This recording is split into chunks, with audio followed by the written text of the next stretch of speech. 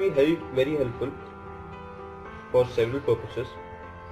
With that being said, let's get started. You can easily find this app on Play Store. It's for free. Metal detector. As you can see. I've already installed this app. Now I'm going to test it on few objects.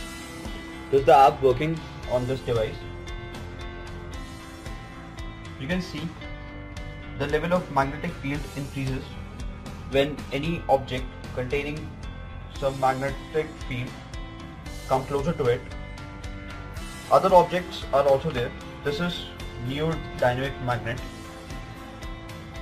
It contains very strong magnetic field. It seems like my device going to hang when I keep it close.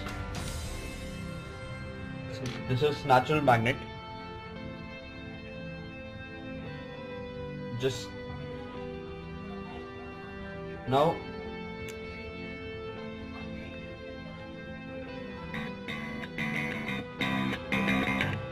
few more devices.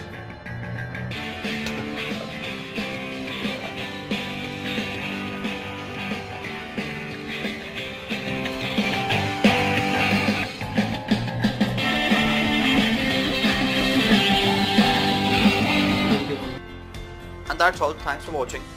Please give up a big thumbs up and don't forget to subscribe for more videos.